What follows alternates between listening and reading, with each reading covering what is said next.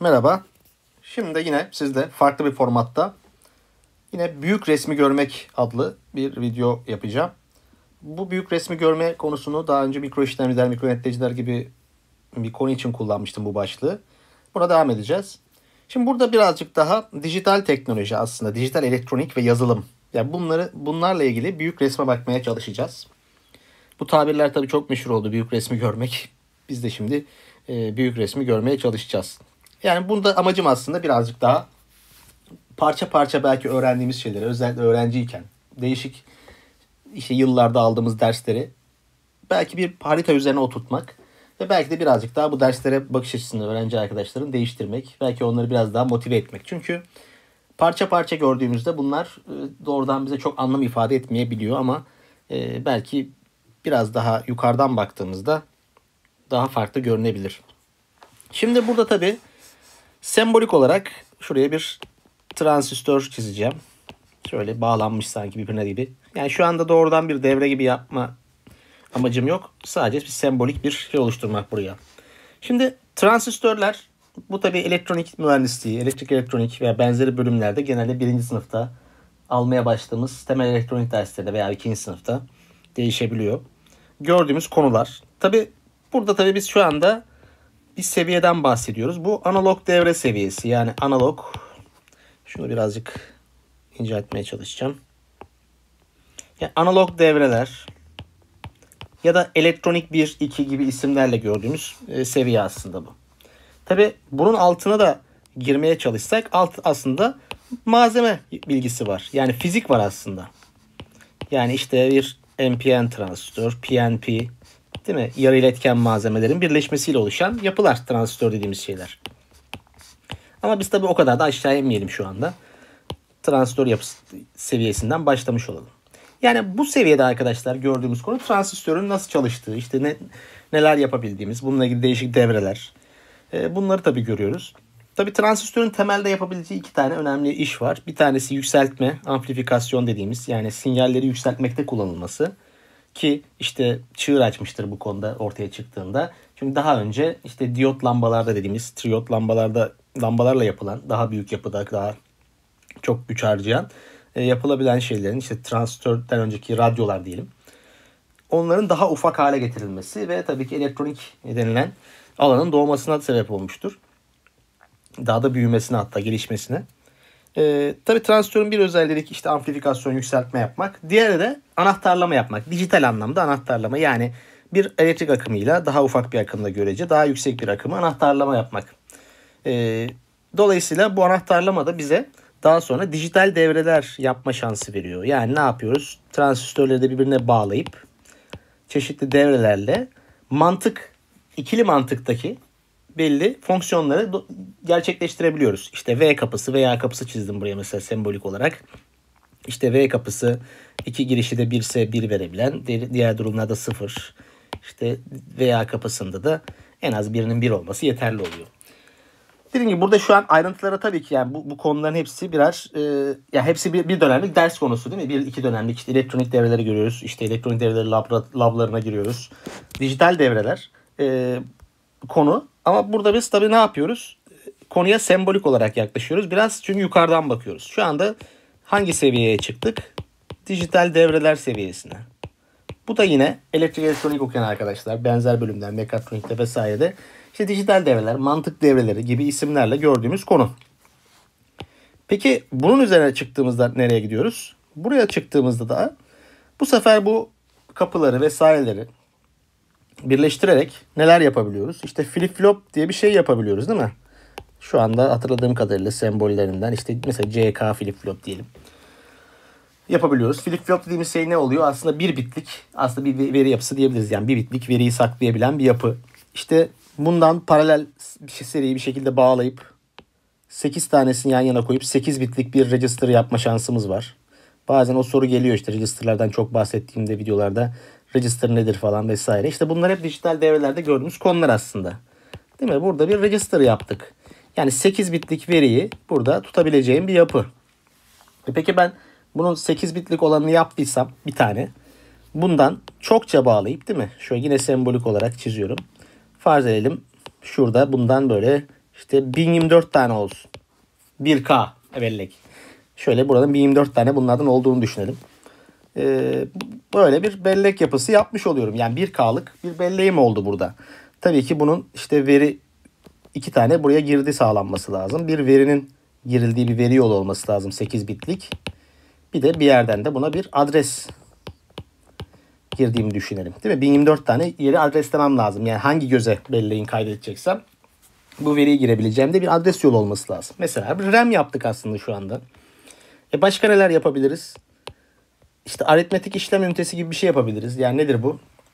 ALU kelimesi aritmetik lojik ünitten geliyor. Matematik işlemleri yapabilen, toplama, çıkarma gibi veya karşılaştırma birimler yapabiliriz. Bakın bu seviyede artık nereye geldik? Burada da dijital tasarım. Yani artık dijital temel blokları kullanarak kapıları vesaireleri artık burada dijital tasarım kısmına geldik. Bir üst seviyeye daha çıktığımızda bu tasarladığımız bakın ayrı ayrı bir şeyler yaptık. Bir tane RAM yaptık mesela. Değil mi? Bir tane ALU ünitesi yaptık. İşte farklı kontrol birimi yaptık diyelim. Bakın bizim CPU dediğimiz şey de aslında bunun içinde de bir bellek var yine tabii. Kendi registerları diyelim CPU'nun. Aslında bir CPU tasarlayabiliriz artık bu kutuları kullanarak da. RAM dışarıda olsun değil mi? CPU RAM'le haberleşebilir. E bir de bu belki ROM ya da flash bellek. Program belleğinin olduğu bir yer olduğunu düşünelim. Çok kabaca tabii çiziyorum şu anda. Yani e, arkadaşlar e, ayrıntılarda saçmalayabilirim belki unuttuğum yerlerde. Ama kabaca bakın bu blokları kullanarak da buradaki yani şu katmandaki burada ben bir aslında bilgisayar yaptım. Yani bir bilgisayar için bana bir CPU lazım. Bir veri belleği, işte ROM yaptım, program belleği. Yani dolayısıyla burada da artık hangi seviyeye çıktım? Bilgisayar mimarisi diyebileceğimiz değil mi? Bu derslerde mesela bu elektronik mühendisliğinde çok gösterilmiyor bildiğim kadarıyla. Biz de almamıştık böyle bir ders. Yani e, bu katman bilgisayar mimarisi derslerinde gösterilen daha çok da bilgisayar mühendisliğinde belki gösteriliyor işte bu ders. Bir katmana geldim. Yani artık dijital bloklardan bilgisayar yaptım. Tabi burada program belli dedik. Yani bunun bir programlanması lazım artık demek ki. Yani bu CPU'nun bir şekilde bir komutları var. Belli bir komut listesi var. Yani her bir komutu diyelim ki bir kodu olsun. Farzım 4 bitlik komutları olduğunu düşünelim bunun. Değil mi? Bunların her birinin bir komuta denk geldiğini farz edebiliriz. Yani makine dili dediğimiz şeye geldik aslında. Yani makine dilinin kendi dili işte 1 ve 0'lar meşhur. Oraya kadar geldik. Şimdi bu seviyenin üstüne geldiğimizde artık makineyi 1 1 sıfırlarla kodlama şeyine geldik seviyesine. Yani şöyle sembolik olarak yine buraya diyelim ki makine kodu seviyesi.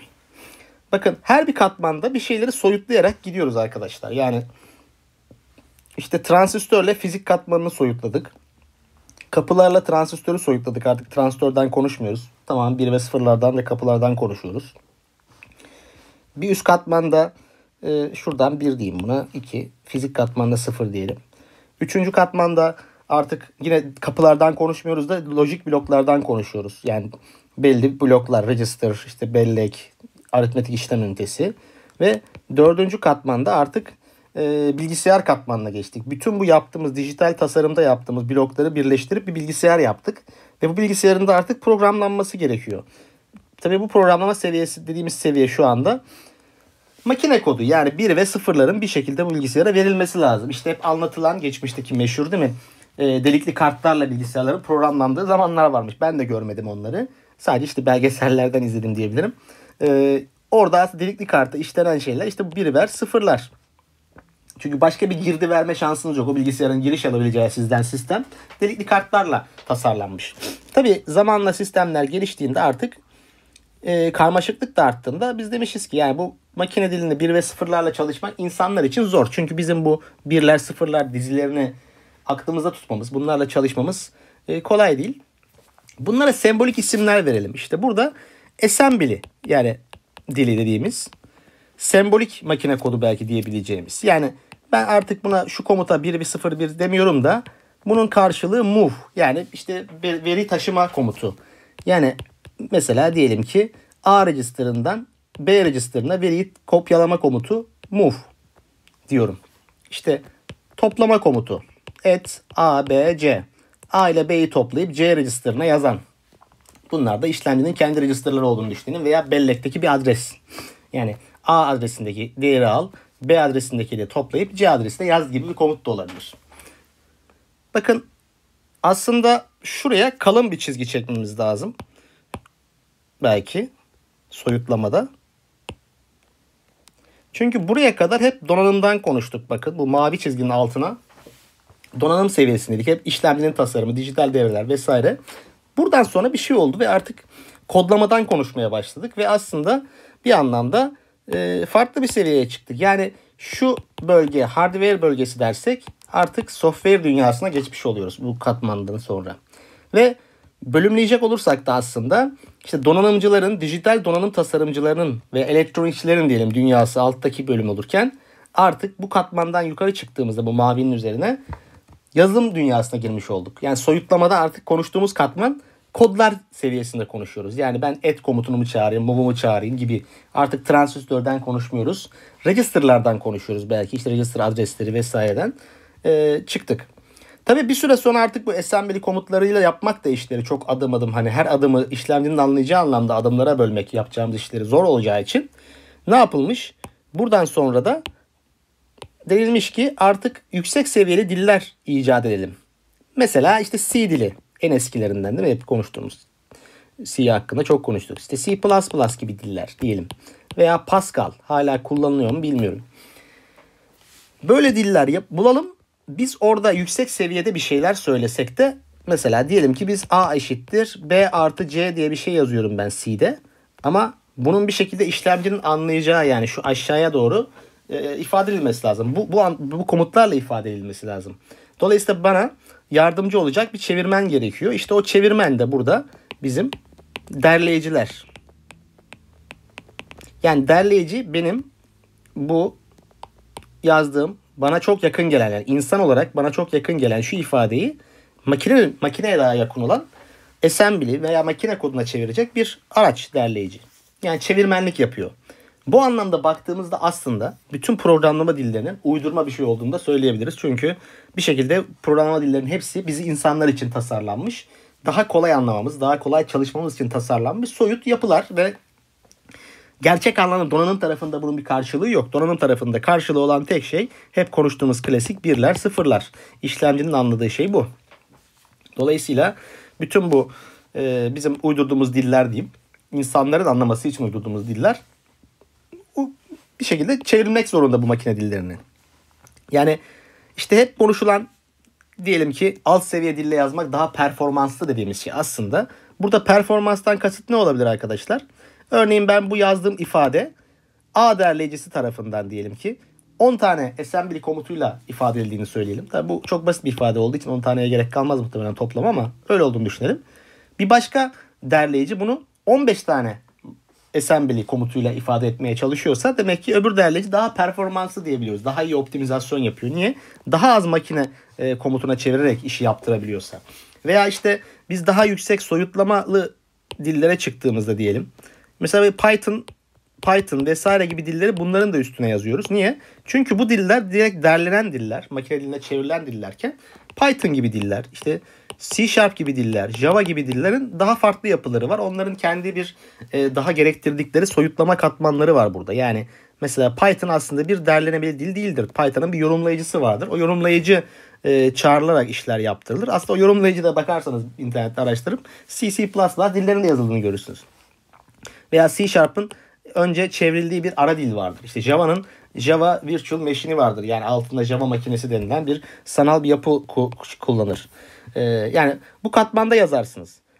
Veya siz bugün mesela diyelim ki işte çok konuşulan frontend diller yani frontend ne demek şu an backend frontend deyince web tasarımında e, bir browser'da aslında sizin web sitelerinde gördüğünüz tarafını o gö- görülen kısmını e, modelleyen yazılım dilleri bunlar. Yani o gö- formatı sağlayan sizin o web sitelerinde gördüğünüz formatı frontend diller. En işte bilineni JavaScript. Bugün JavaScript'in çalıştığı soyutlama katmanı arkadaşlar neresi? Aslında JavaScript denilen şeyin yorumlandığı yer sizin browser'ınız. Yani JavaScript aslında sizin web browser'ınızın içerisindeki bir yorumlayıcı tarafından çalıştırılıyor o JavaScript kodları. Yani JavaScript sanal makinesi deniyordu galiba ona da ya da e, V8 Engine gibi şeyleri var. Neyse. Peki web browser nerede çalışıyor? E sizin işletim sisteminiz üzerinde çalışıyor. E işletim sisteminiz nerede? İşte o donanım üzerinde olan şey o. CPU'nun üzerinde çalışan. Bakın JavaScript'te yazan birisi aslında soyutlama katmanında donanıma ne kadar uzakta yazıyor bunları aslında. Yani yine baktığınızda tabii bu JavaScript derlediği web browser aslında arka planda alt seviye işletim sistemi e, çağrılarını kullanıyor. Onun da altında yine her şeyin bildiğimiz bu demin konuştuğumuz makine diline çevrilmesi gerekiyor. Yani şunu söyleyebiliriz ki kısaca çok uzattık ama makine kodunun üzerindeki her şey bu seviyenin üzerindeki her şey aslında insan uydurması şeyler. Tabii her şey insan uydurması. Hepsi insan tasarım bunların bahsettiğimiz şeyler ama yani bizim şurada diller miller dediğimiz şeyler bir sürü konuştuğumuz o kadar uzun uzadıya konuştuğumuz şeyler eninde sonunda aşağıda makine kodu olarak çalışmak zorunda olan şeyler. Ama siz çalıştığınız seviye itibariyle o ondan habersiz bir şekilde de çalışıyor olabilirsiniz. Yani bugün C'de yazıyorsanız eğer arka planda o nasıl bir komutlara çevriliyor vesaire bilmeniz gerekmiyor doğrudan. Tabii ki bizim işlerimizde biraz bunu bilmemiz gerekiyor ama örnek verdiğim gibi Python'da bir şeyler yazan birisinin, JavaScript'te bir şeyler yazan birisinin bu alttaki bu kadar soyutlama katmanının altını bilmesi gerekmiyor. Çünkü zaten bu gerekmesin diye bu kadar şeyler tasarlandı. Çünkü işlerin daha kolay yürüyebilmesi için. Ama en azından bakın burada işin büyük resmini çıkartmış olduk.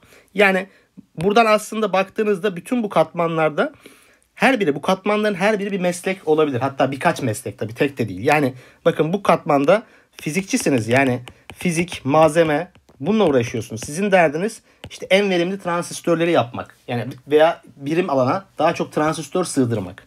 İşlemci üretimi. Yani işlemcinin gerçekten fiziksel üretimiyle çalışacak kişiler. E, bu katman. E, bu katmanda e, devreler tasarlamak, analog devreler, daha verimli devreler veya transistörleri daha verimli bir araya getirmekten bahsediyoruz. E, analog devre tasarımcısı diyebiliriz bu, buraya da meslek olarak. Yani analog tasarımcı. Burada bu arada yazım çok çirkin tabii farkındayım ama yapabilecek bir şey yok. Yazı yazmayı da aslında elle yazı yazmayı seven bir değilim. Çizimleri böyle karalamaları sevsem de. Dijital devrelerde bakın yani şu iki bölüm artık dijital tasarım adı üzerinde dijital tasarımcılık yaptığınız bölüm. Ve bu da bir meslek alanı. Bana işte gelen bu FPGA vesaire konularındaki soruları ben yanıtlamıyorum. Çünkü ben F- dijital tasarımcı değilim. O bu alana giriyor. Yani bugün tabii artık dijital tasarım bu kapıları böyle manuel olarak birbirine bağlamakla yapılmıyor. Donanım tasarım dilleri var. Donanım tanımlama dilleri var arkadaşlar. HDL. Yani belki duymuşsunuzdur. Verilog ve VHDL. Bakın bunlar programlama dili değildir. Bunlar donanım description, hardware description language. Yani donanım tanımlama dilleridir. Yani resmen böyle kod yazarak ama bildiğimiz anlamda bir yazılım kodundan bahsetmiyoruz. Kodla donanımı tanımlıyorsunuz. Ve ortaya bu yapılar çıkıyor. E sonra burada bakın işlemci bilgisayar mimarisi. Burada çalışanlar artık ne diyoruz? İşlemci tasarımcısı. İşte bugün dünyada değil mi işlemciler görüyoruz. Her şey yenileri çıkıyor. İşte şu günlerde Apple yine yenilerini duyurmuş. Ee, bakın bugün neden konuşuyoruz? Artık son işlemcilerde milyarlarca transistörden bahsediliyor. Yani bir, bir işlemcinin içinde milyarlarca transistörden bahsediliyor. Ama şu buradaki bu soyutlama olarak bahsettiğimiz şu yolculuğu eğer anlarsanız bilin ki Intel'in belki ilk çıkardığı işte işlemci 70'li yıllarda 4004'tü. Yanlış hatırlamıyorsam bu da zaten şey olarak bilinen yani dünyada ilk ticari işlemci olarak kabul edilen modeldir. Bu. Ve bu haftada Apple işte en son işlemcilerini duyurdu.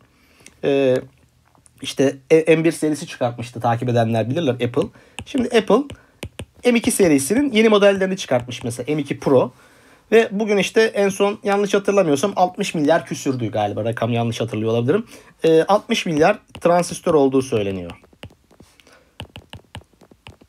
4004'te de tahminim yine atıyorum şu an hatırlamıyorum. Belki 2000 veya 4000 transistör vardı. Yani bakın 70 yılından tabii geldik 2023 yılına. Müthiş bir gelişim var. Ama şunu bilin ki yani ilk çıkan işlemciler nasıl bir teknolojiyle çalışıyorsa ki dijital teknolojiden bahsediyoruz. Birler, sıfırlar, şu katmanlarda bahsettiğimiz. O, o işlem nasıl çalışıyorsa bugün son model işte Apple'ın o çıkarttığı M2 Pro da bugün aynı mantıkla çalışıyor. Sadece gelişen şey çok fazla transistör, çok fazla dijital blok bir araya gelip artık o işlemci ortaya çıkıyor ama temel mantık, çalışma mantığı değişmiyor. Bugün yazılımlarda da işte çok 70'li yıllardan beri çok büyük bir sürü diller çıktı. İşlemciler çok hızlandı. Yazılım teknolojisi çok ilerledi ama emin olun bugün de hala sizin ne hangi dilde yazıyor olursanız olun Java'da mı yazıyorsunuz, Python'da mı yazıyorsunuz, işte JavaScript mi yazıyorsunuz bilin ki bu bir şekilde sizin yazdığınız kodların çalışması için bir şekilde şu aşağıya kadar inmesi makine kodlarına çevriliyor olması lazım ki zaten çevriliyor. Sadece biz bu çevrimlerden doğrudan haberdar olmuyoruz. Bu büyük resime baktığımızda da şu maviyle çizdiğim iki ayrım donanım ve yazılım ayrımı ama aslında donanım ve yazılımın birbirinden farklı bir şey olmadığını, farklı soyutlama katmanları olduğunu da bilmemiz gerekiyor. Biz her ne kadar bunları sanki ayrı dünyalar gibi görsek hatta okusak da ders olarak. Mesela bu, bu bölüm değil mi? Bugün e, bilgisayar mühendisliğinde aslında daha çok. Yani yazılım mühendisi, bilgisayar mühendisi arkadaşlar şu dünyayı daha çok görüyorlar. Ki elektronik derste de gösteriliyor onu da biliyorum.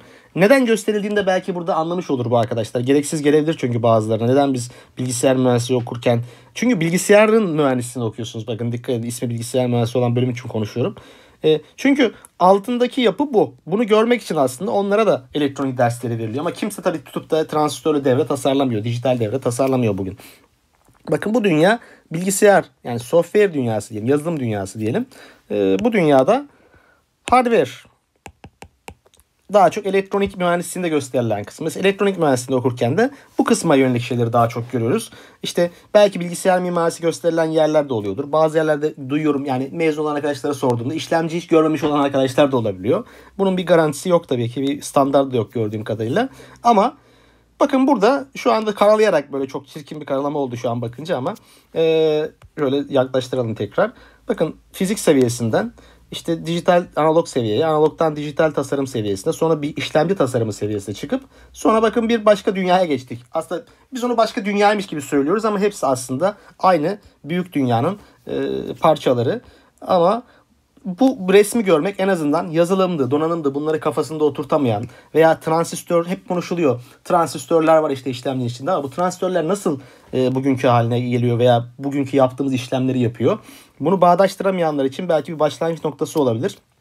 Eğer siz daha bu dersleri almanın başındaysanız, daha bu dersleri yeni alıyorsanız da umarım sizi büyük resmi görme konusunda daha motive etmiştir. Aslında gördüğünüz hiçbir şey çok da gereksiz değil bu gizemli yani insanların belki %99'una gizemli gelen hiçbir fikri olmayan bu konularda e, bilgi sahibi ol, olmanızı sağlar. Çünkü zaten bu konuları resmi olarak dersini alarak eğitim alarak görenler bizleriz yani kimler işte bilgisayar mühendisliği okuyanlar, yazılım mühendisliği okuyanlar, e, dijital elektronik elektronik derslerini alanlar, elektronik mühendisliği okuyanlar e, bu alanlardayız. Yani aslında çok küçük bir azınlığız diyebiliriz.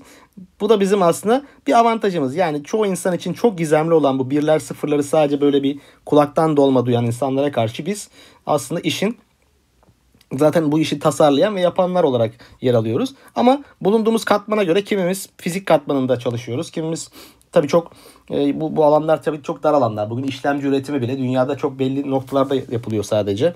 İşte kimimiz dijital tasarım seviyesinde yapıyoruz. Kimimiz işlemcinin kendi tasarım seviyesinde ya da hazır işlemciye yazılım geliştirme seviyesinde ki bugün artık yazılım dünyası değil mi? Başta başına bir dünya yani donanım tasarlanmadan sadece yazılımla işimizi yapıyoruz ki birçoğumuzun işi bu zaten. Benim de e, dahil olduğum grupta bu zaten.